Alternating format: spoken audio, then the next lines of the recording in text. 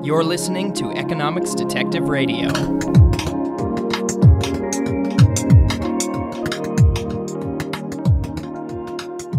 My guest today is Randall Holcombe of Florida State University. Randall, thanks for being part of Economics Detective Radio. No, thanks a lot for inviting me. I'm delighted to be talking with you. So, our topic for today is political capitalism. Uh, Randall has written a book of that name uh, entitled Political Capitalism How Economic and Political Power is Made and Maintained. Um, so, Randall, uh, how, how, about you start by just uh, defining what you mean by political capitalism? You chose it as the, the title of your book, and I think different people might think of different things when they hear those words together. So, uh, so let's start with a nice, clear definition. Okay, uh, thank you. I have received many comments, both positive and negative, about the title.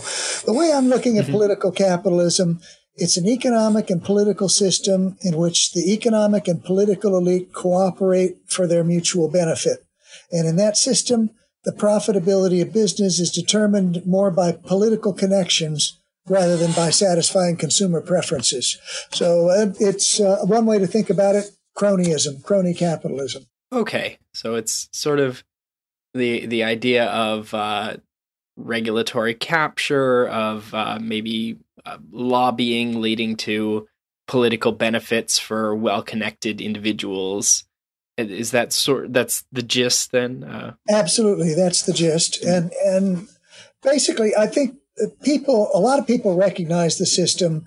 Uh, they they see it for what it is. Uh, they cronyism. They call it corporatism, favoritism, fascism in Nazi Germany is an example. President Eisenhower warned about the military-industrial complex. So a lot of people recognize the system, uh, but not that many people understand it.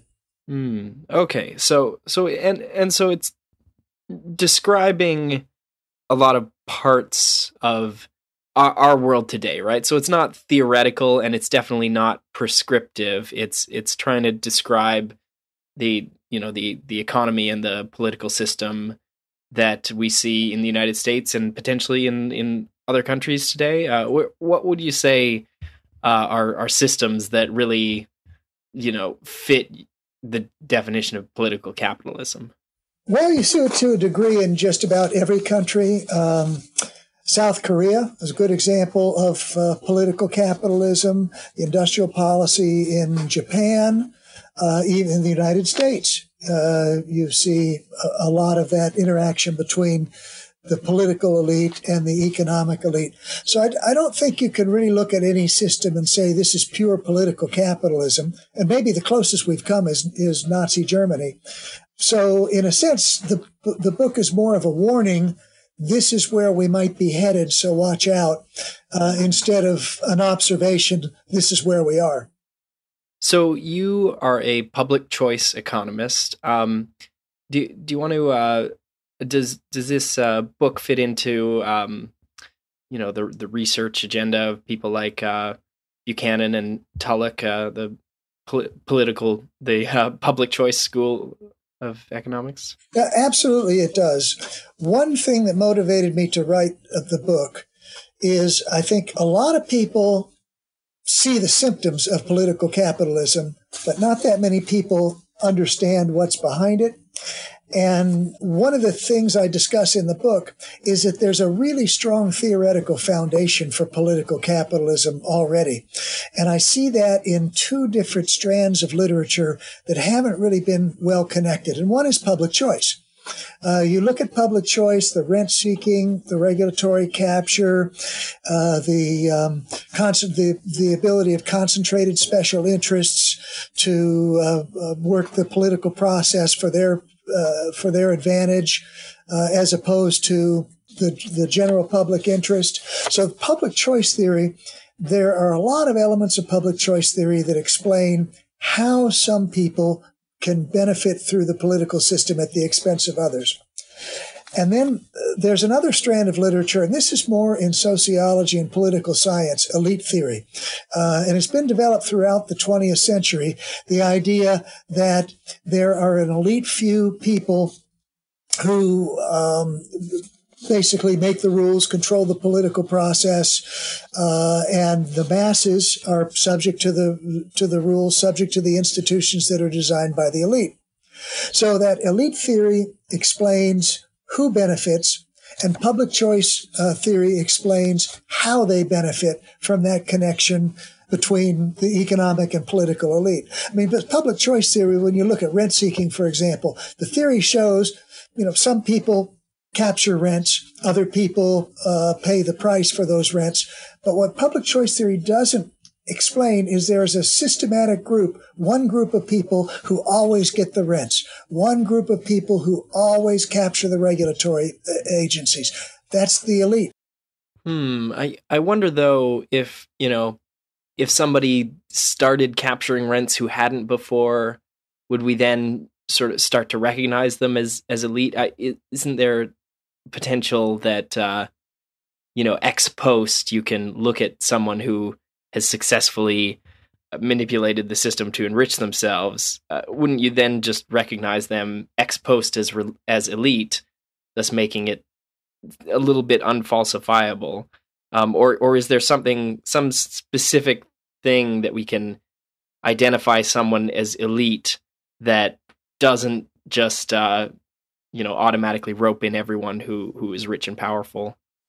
Well, um, you know, I, I, think there's something to what you're saying that uh, if we see people who are getting those benefits, those people are are part of the elite.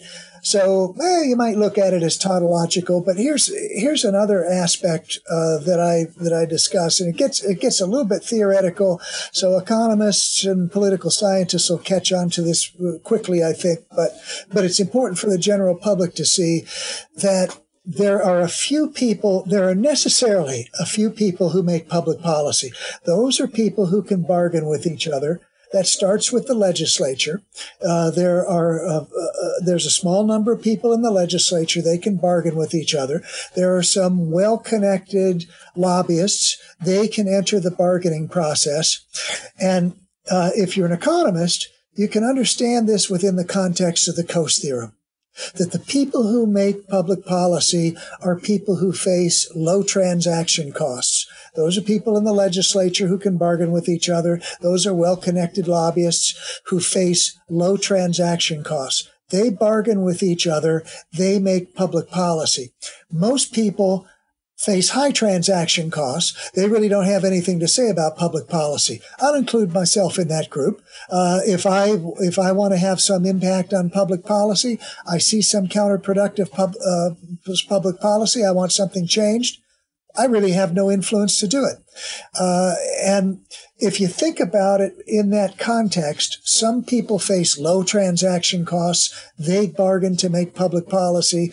Other people face high transaction costs. They're unable to influence public policy. It's well connected people always who are able to design public policy for their benefit. So one way to think about it is to divide the population up into people who face low transaction costs, like legislators, well connected lobbyists, and most people who face high transaction costs. Now, thinking about it in the context of the Coase theorem like that, this was kind of a new way to think about it. But if you go back in history, this idea is well recognized. Uh, Marx and Engels talked about the bourgeoisie and the proletariat. Uh, that elite theory talked about elites and masses. And more recently, in the 21st century, you look at the Occupy Wall Street movement, they're talking about the 1% and the 99%. So when you look at it that way, the, the bourgeoisie, the elite, the 1%, those are people who face low transaction costs and they make public policy. Uh, the proletariat, the masses, the 99%, those are people who face high transaction costs. They have to settle for the public policy that's designed by the elite. Right. Okay. So when you're talking about transaction costs in this scenario, you you mean the the cost of communicating with with you know political representatives or or the the holders of political power, bargaining with them. So if I'm someone who uh, has a, a, close friend or, or a brother or someone who who is a, you know a, a senator or uh, works on the the president's staff or something, you know, then maybe maybe my ability to uh, you know to complain or to to be heard or to even affect policy is much higher than someone who doesn't have any kind of personal connection. Is is that sort of the what what you're picturing in terms of transaction costs in this context? Uh, that's exactly the idea, and uh, there's a difference between political power and economic power. There's a continuity in economic power that you don't find in political power. That um, a, a dollar, my dollar pulls just as much weight in the economy as Warren Buffett's dollar. Now he has more dollars than I do, so he has more economic power. But there's a continuity in economic power. Let's say that you're in a low paying job and you're thinking, yeah, I'd, I'd like to have a little more economic power. You can work some overtime. Maybe you can get a second job. Maybe you can build your skills so you can get a little bit of a higher paying job. You work a little harder, you work a little longer, you gain a little bit more economic power. But there's a discontinuity in political power. See, in economic power, if you have $10, you got twice as much economic power as somebody with $5. If you got $10 million, you got 10 times the economic power as somebody with a million dollars. But with political power, you know, unlike the, with economic power, work a little harder, work some overtime, gain more economic power. If you're in the masses, if you have no political power, you can volunteer for a political campaign. Uh, maybe you can make some contributions to uh, to a candidate or to a party but you'll still have no political power. Of course, if you, I mean, if you make huge contributions, then you can uh, uh, lower the transaction costs and become a part of the elite. But just for the ordinary man in the street, you work a little harder, you gain a little more economic power. You, uh, but in politics, volunteer to work for a candidate, send in a campaign contribution, you still have no political power. Yeah, yeah. So there's a sort of minimum. Uh, you have your one vote, right? So that there's there's a, a minimum amount of political power, which is you you don't influence anyone, you don't directly communicate with with anyone who sets policy. You you know you're not your voice isn't heard, but uh, at the same time you you get a, you can go to the voting booth and uh, have this minuscule chance of changing which candidate wins uh, once every four years. So not not a not a huge impact um, is and that's and that's very very different from having uh, having a direct line to to the people in power. Uh, where, whereas if you if you had money, you you could uh, you know a, a, a hundred families you know w- wanting to buy apartments can outbid a single family that wants a mansion for for a certain plot of land, right? Yeah, but you don't see that in politics. I mean, in politics, you do have your one vote, but your one vote isn't going to affect the outcome of the election. I mean, if you think about the last presidential election in the United States, if you had voted for Donald Trump, who would be president today? Trump. If you had voted for Hillary Clinton, who would be president today? Trump if you hadn't voted at all, who would be president today? Trump. And, you know, every voter has to know that. I mean, voters talk about being patriotic and participating, and indeed they do, but they have no incentive to be informed. They have no incentive to cast an informed vote. Economists and political scientists refer to this as rational ignorance.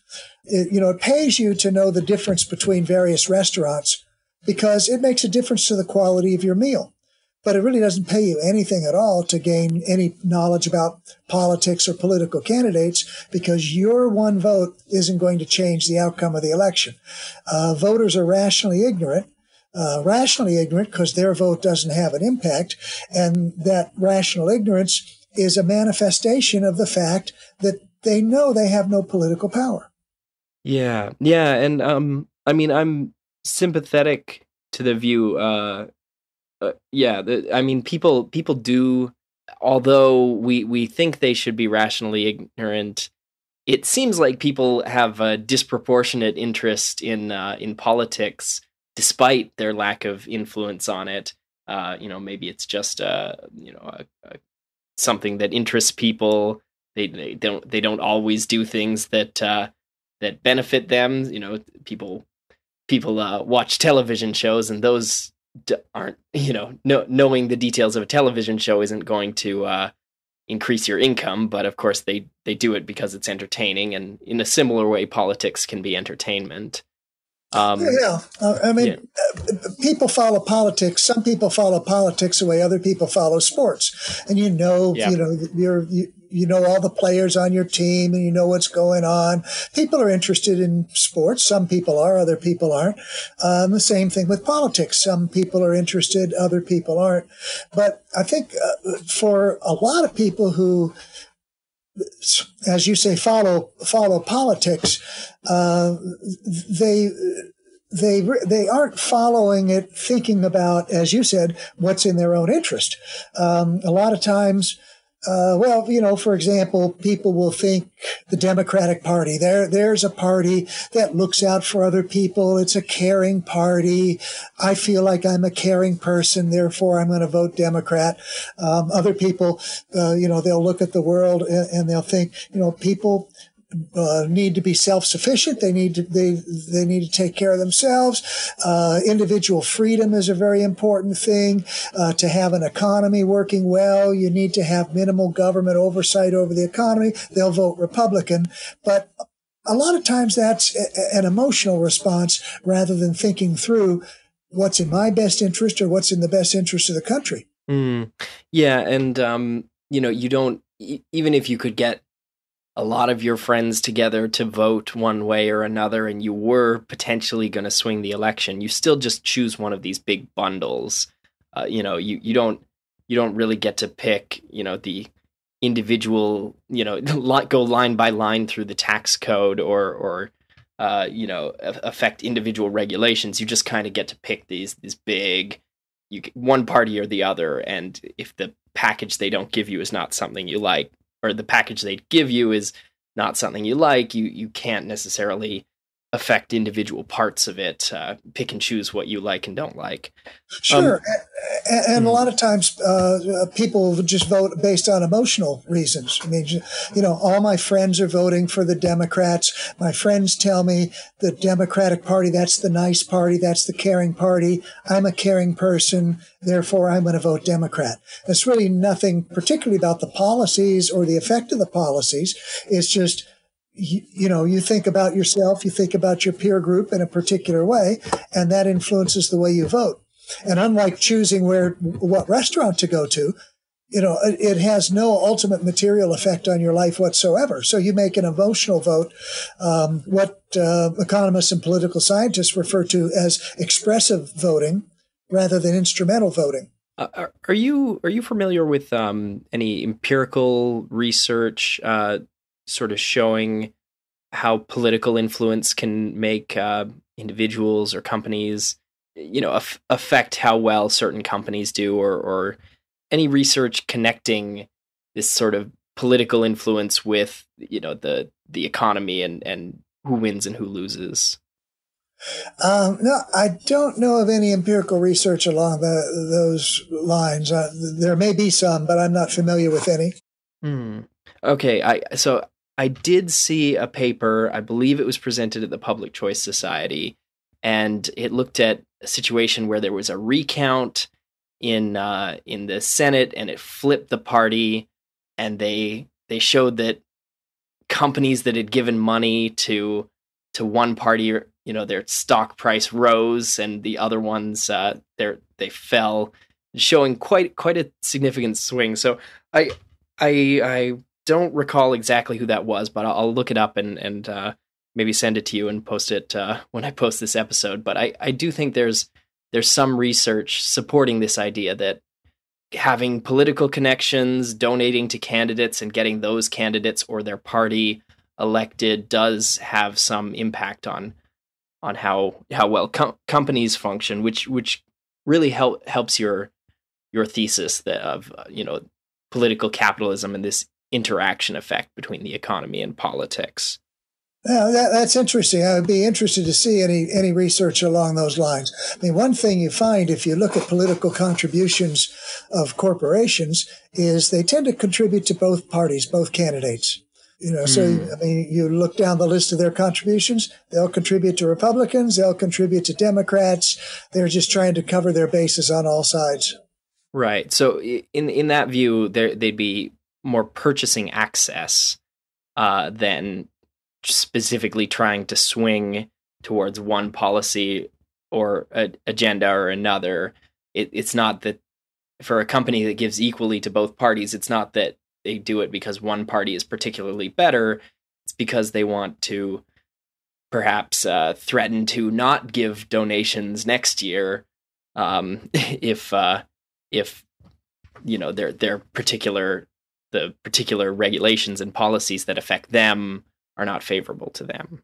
Sure, and and uh, as you said, uh, you, you want to purchase access, so it's not necessarily that you're trying to promote a particular policy, although you may be, you know, looking for tax breaks or subsidies or whatever. But you want to have access so that if something comes up in uh, in the legislature that's going to affect your business, you're able to stop in and you already have access. And and there's a huge connection there's a, a, there's a really good book by Peter Schweizer called Extortion, and I recommend it to public choice people to read because he talks. It's it's it's um, stories, uh, facts about uh, here's how the political process works. But uh, you know, basically, if you can get your foot in the door, if you can talk to a legislator, the way those conversations tend to run, you know, that you'll a lobbyist will come in. Maybe he's trying to get some favorable policy for his company. Uh, you know, we want a tax break or we want a subsidy, or maybe he's trying to prevent legislation that's going to harm his company. There's some regulation they're considering or a new tax that, that, that they're considering. And the legislature, the legislator will say, uh, yeah, well, you know, we're, we're probably going to take that up next week. We're thinking about that. Oh, and by the way, I'm having a reception for my political action committee or my reelection campaign or something. You know, it's coming up next week. Uh, and I'd love it if you could attend. And what that means is the lobbyist better attend. And when you go to those receptions, there's there's a bowl in the middle of the room, and when when you go in, you're supposed to deposit your check into the bowl, and uh, the the legislators' aides keep track of who's putting the checks in, and if you put a check in, you're likely to get favorable treatment. And uh, if you don't show up at the reception or you don't put your check in, could be bad news for you. So, I mean, there's a you know a definite purchase of access, uh, and well, what Peter Schweizer uh, calls it, he calls it extortion. Mm. Yeah, that's. Uh, I mean, that's quite shocking that it's so so blatant. I think we. I don't know. I I always kind of hope that it's. Uh, I don't know, um, that people are mostly well meaning or, or that to the extent that they're corrupt, they are in, in maybe subtle ways. Maybe they don't believe they're corrupt, but they're just subtly biased towards doing things that uh, that benefit themselves and their friends.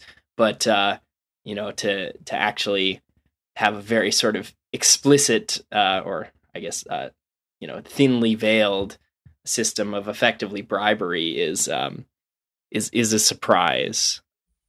Yeah. and and Schweizer in his book, you know, his book is titled Extortion, and he says a lot of times we think these lobbyists are trying to bribe legislators. Uh, and he looks at it the other way. He says, actually, what appears like bribery really is extortion. It's not the lobbyists trying to bribe the legislators, it's the legislators extorting payments from the lobbyists. But really, I mean, there's a, a, a number of accounts of former uh, legislators who have talked about how ever present fundraising is in their jobs. Mean, as soon as you get elected, you're out fundraising both for yourself for reelection and also for your party. Uh, and uh, the parties uh, look at the fundraising of legislators and are, tend to be more charitable toward legislators in their party when they raise a lot of money. So fundraising, I mean, that's just uh, one of the things that comes with the job. Hmm.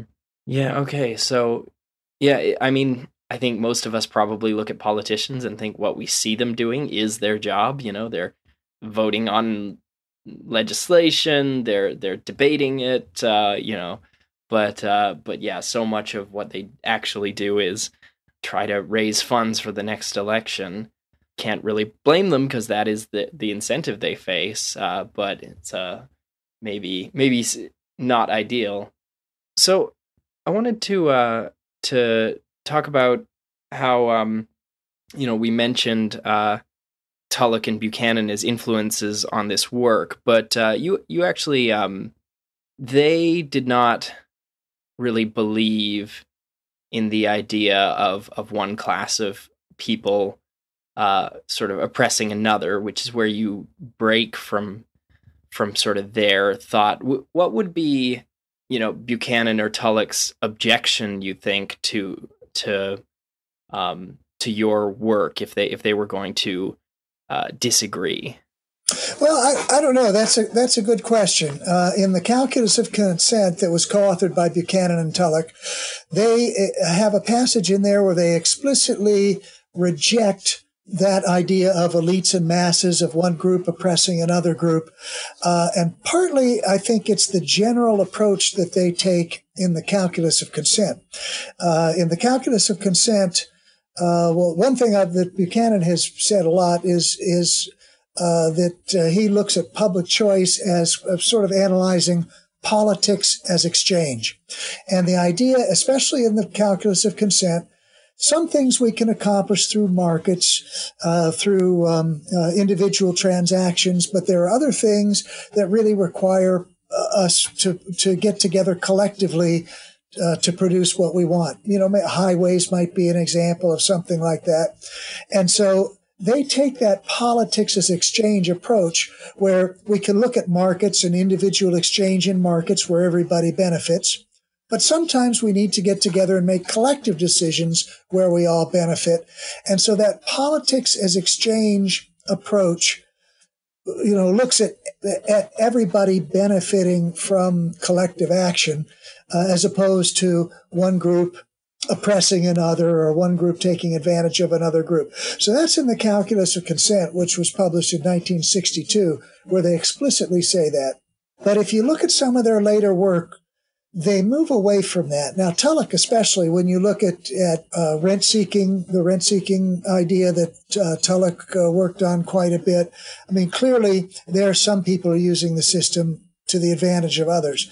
And in Buchanan's book, The Limits of Liberty, that was published in 1975, you know, he, he refers back to the calculus of, of consent and the way they were looking at politics as exchange. But then he recognizes sometimes people are using the political system for their own advantage. So, you know, clearly what I'm doing in that, in my book uh, is somewhat at odds with what's in the calculus of consent and at odds with the idea of politics as exchange.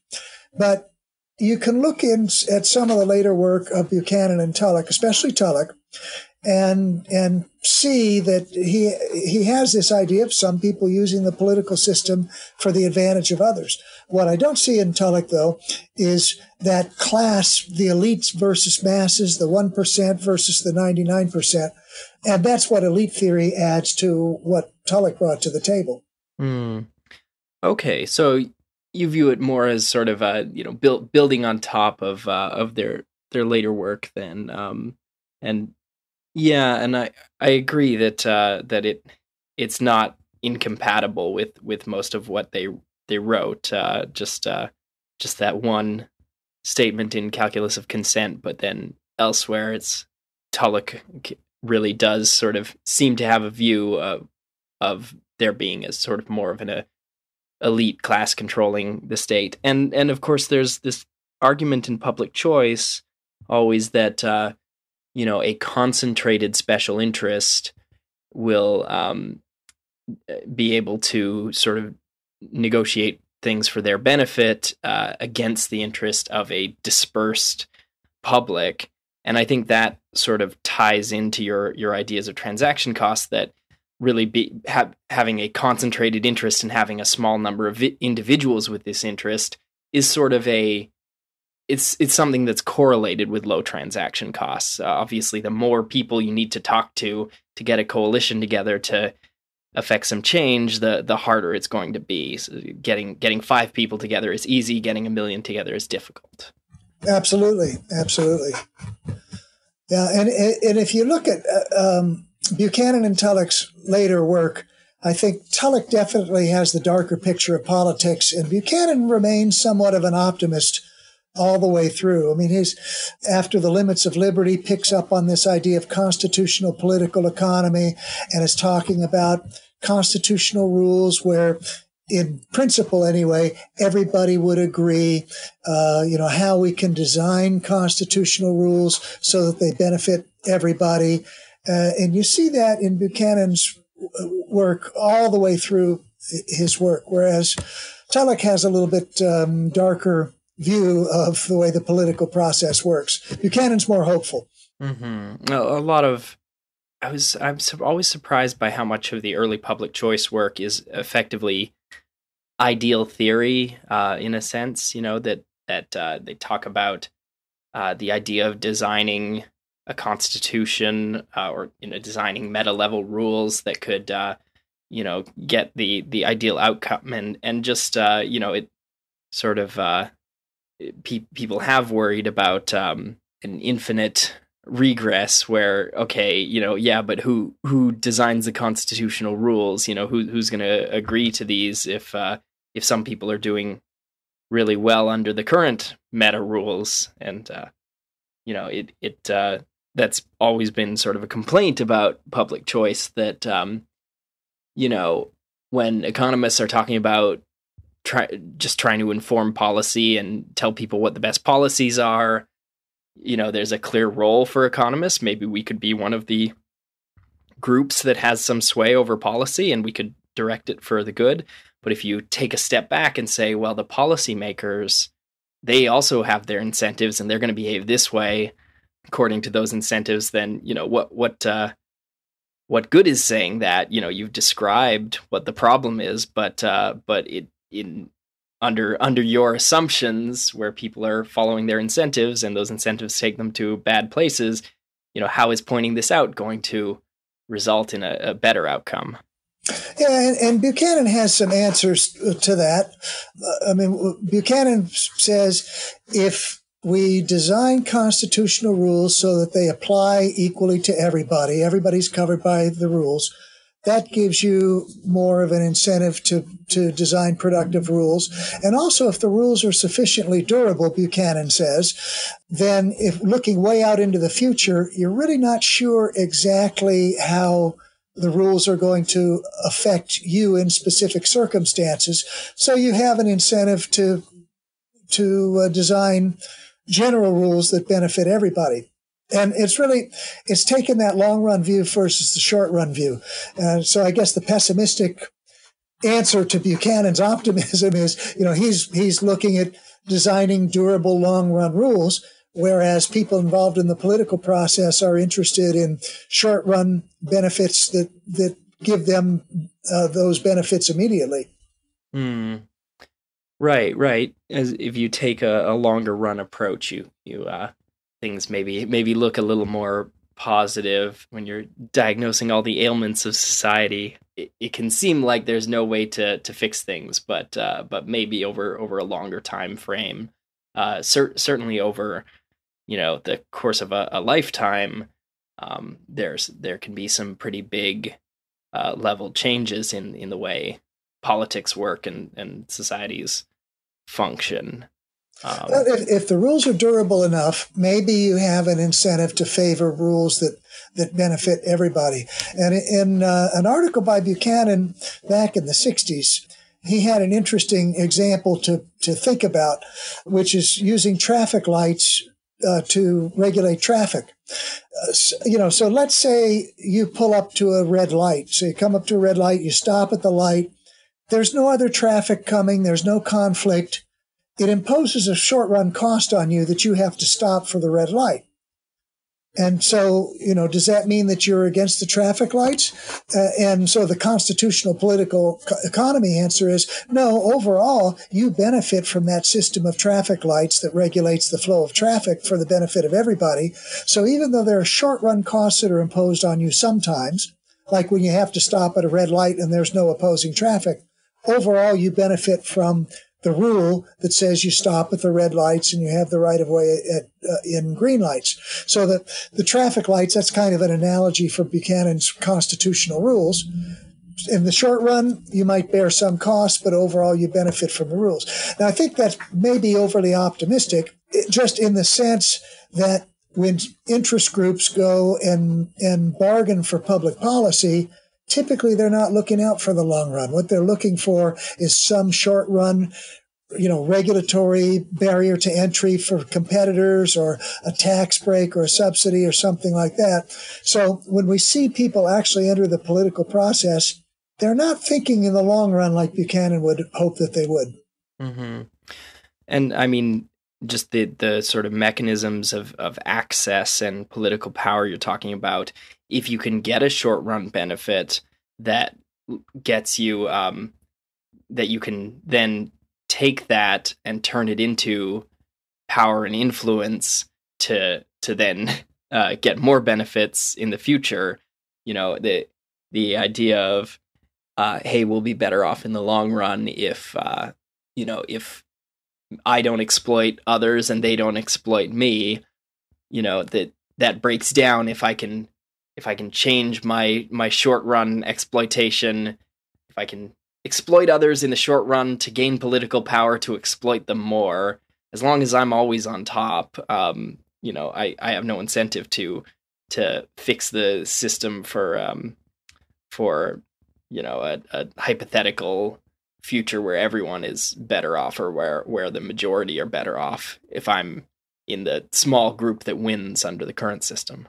Yeah, that's likely to be the case. And I, I mean, I just throw out an example to you, and I don't know if this is a good example, but the General Electric Company seemed to be one of those companies that was playing that political game. They managed to lower their taxes. They got tax credits for like um, they're making the windmills that generate electricity, and they had the wind tax credits. And Jeffrey Immelt, when he was uh, CEO of General Electric, was a close associate with Barack Obama. He was one of Barack Obama's economic advisors, uh, so sort of playing that political game, and worked out pretty well for General Electric for a while. But you know, General Electric uh, has had a tough couple of years recently. Now, I don't know if that's really a good example, but I mean, sort of you know, maybe it looks like General Electric was playing that short run game and it worked out for them for a while. But in the long run, uh, you know, they, like I say, they've suffered over the past couple years. Hmm. Yeah, yeah. Do Do you know any um, any examples of uh, companies or groups that have have done consistently well that have uh, you know managed to wield power and and continue to wield power for their benefit uh, over over a really long period or uh, just unusually long, maybe? Well, it seems like the banking industry has done pretty well. Mm-hmm. I mean, there were. Uh, if you go back several decades, pretty serious barriers to entry uh, into banking. Uh, there's heavy um, uh, banking banking regulation now that makes it difficult for smaller firms to compete in the banking industry. And if you look at the Occupy Wall Street movement, uh, I mean, basically, you know, that was against the, the Wall Street fat cats uh, that you had when the recession came along in 2008. You had the housing market collapse. Uh, a lot of people had mortgages. They were underwater in their mortgages. Uh, so they couldn't sell their homes and pay off their mortgages. They got foreclosed. They're out on the street. That's the 99%. And then, um, the Federal Reserve, Congress, what do they do? They come in and they bail out the banks. They bail out the 1%. Uh, and the, um, the banking industry seems to have done pretty well just as far as regulatory uh, protection, yeah, maybe for a century. Hmm. Yeah, I mean, although after 2008 there would have there would seem to have been, you know, reforms. You know, it, it, some might even say a moral panic, trying to rein in finance and and uh, stop uh, you know stop in particular uh, lending to uh, risky risky borrowers. Um, but uh, but I mean there there's there's some debate uh, to, as to what extent uh, that that really hurt the you know the big firms in the banking industry. Yeah, and the, and the big firms seem to be doing pretty well, and they did get that big bailout from the Fed uh, uh in the Obama mm-hmm. administration. So, you know, it seems like a pretty good uh, example of the political connections there between the economic elite, the political elite. We bail out the 1%, the 99% they're left to try to make do on their own. Mm. Right, and uh, I mean, you know, things like the the bailout, but also the the payment of interest on reserves at the Fed. That was kind of a, uh, you know, a, a, handout to to those companies, and and one that disincentivized them from uh, from from lending, sort of effectively, uh, maybe. I mean, it's a it's a whole other topic, but there uh, there was a lot going on there, and it and it does seem like they they have done quite well, consistent with what you'd expect from uh, from a group that that wields significant political influence. Yeah, I, th- I think it's a good example. Mm-hmm. Do you have any sort of um, overall recommendations? Like, if if someone has listened to this whole conversation, they they they feel like they they understand some of the the problems of political capitalism and you know the diagnosis of sort of things things that are going wrong you know, but what what uh, should people do, or or what uh, in the long run would you would you hope that people would do to sort of reduce the the burdens of of having a sort of crony capitalist system? Yeah, I guess I mean one thing I would I would hope is that people would be generally aware of the of the threat. Uh, one thing that I hear a lot from supporters of, of free markets uh, is the threat of socialism. Uh, you know, creeping socialism. You got Bernie Sanders these days and Alexandria Ocasio Cortez, and uh, we we see the ideas of socialism in the air. And you go back to the 20th century, and there was that uh, the Cold War era with the capitalist democracies against the socialist dictatorships you think about Hayek's book, The Road to Serfdom. Well, Hayek says the road to serfdom is socialism. And so we, you know, people who are supporters of markets a lot of times look at socialism as a threat to capitalism. But really, the biggest threat to market capitalism is not coming from the socialists, it's coming from capitalists. And uh, that's one lesson I think is in this idea of political capitalism. It's the capitalists who are threatening market capitalism and replacing it with a, a political capitalism. Uh, so that's one idea that I'd like to get across is that threat that comes from capitalists undermining the capitalist system. And typically, you know, if you hear somebody say, uh, I'm a supporter of big business, or uh, you know, this is a business-friendly policy. Typically, something that's pro-business is anti-free market. I mean, subsidies, tax mm. breaks. Oh, this is good for business. Pro-business policies are typically anti-free market, and so I think we need to recognize that and recognize the threat that capitalists themselves uh, pose to free market capitalism. And Schumpeter was very aware of this in Capitalism, Socialism, and Democracy, although he actually saw socialism as the bigger threat. You know, he, but Schumpeter asked the question in Capitalism, Socialism, and Democracy. He says, can capitalism survive? No, I don't think so. And the reason he gave is that the people who benefited most from the capitalist system wouldn't stand up to support it. Mm. Yeah, yeah. So, yeah, to sort of rephrase that, that being pro business is, um, in a sense, being pro incumbent business, businesses that currently exist and wield uh, power and have a lot of revenue. Whereas being pro market, you know, part of part of having a, a, a free market is is you have this churn, you know, new new businesses replace the old ones. You you don't necessarily have all you know all the big businesses being outcompeted by lots of small businesses. There's sometimes the larger scale is more efficient but you know you you have the businesses that were big and successful 10 years ago having to deal with upstarts entering their their market and and upsetting the balance. And uh, you know many many times those incumbents will will try to sort of block that process. Yeah and i i definitely see uh see uh, about the the statement of you know the people who benefit will not advocate for it for for you know you you look at the the companies that market um, Guy Fawkes masks to to so that people can you know buy them and and go protest against uh, capitalism. You know that there's a market there, so they serve it. But uh, you know if, if those pe- if their customers had their way, I'm sure they they would uh, lose all the all the profit they earned from selling the masks.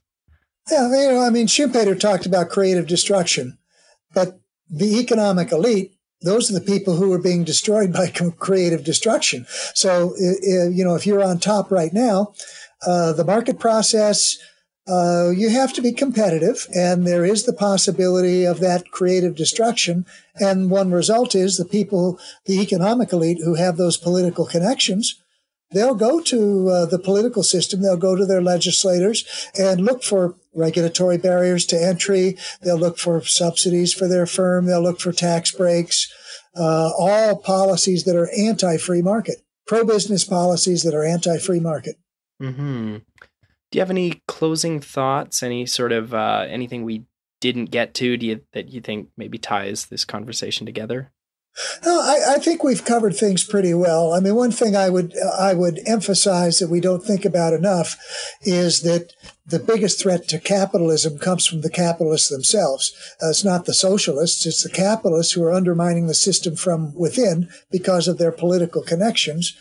And uh, I would also emphasize that one of the things I, I, I I bring out in my book is the theoretical foundation for understanding political capitalism has been around for a long time. It's not really novel. It's the public choice theory. It's the elite theory. The Coase theorem comes into play pretty strongly. And what hasn't been done is combining those theories, looking at those theories together and seeing the implications of those theories together. And that's what builds the theory of political capitalism. Mm-hmm. Well, my guest today has been Randall Holcombe. Randall, thanks for being part of Economics Detective Radio. Thank you very much, Garrett. I've enjoyed talking with you. And uh, final note to the audience the book is entitled Political Capitalism How Economic and Political Power is Made and Maintained, and a link to it at economicsdetective.com. So, one final thanks, Randall, and uh, I'll let you go. Thank you, Garrett.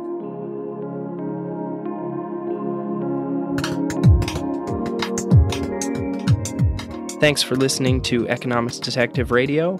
If you want to engage in a conversation about the show, head on over to Facebook, where we've got the Economics Detective Facebook group. That's Economics Detective on Facebook. And if you want to support the show, we have a Patreon page. You can find the link on economicsdetective.com. Patreon allows you to make a small, regular donation per episode that increases the marginal benefit to me of producing more episodes. I know some people do a monthly fee, but I want the incentives to be aligned properly so I can uh, push myself to keep making content to push out to you and the other people who listen to it. So thanks for listening. Um, find us on Facebook, and if you love the show, consider becoming a Patreon supporter. I'll be back next week with another episode.